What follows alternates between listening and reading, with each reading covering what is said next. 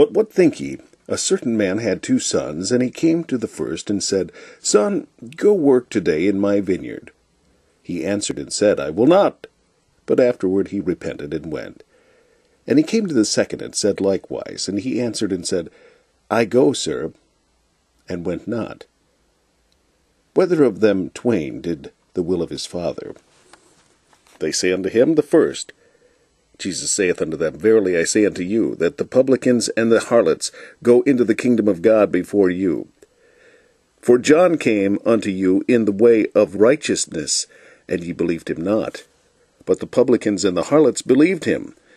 And ye say, when ye had seen it, and ye, when ye had seen it, repented not afterward, that ye might believe him.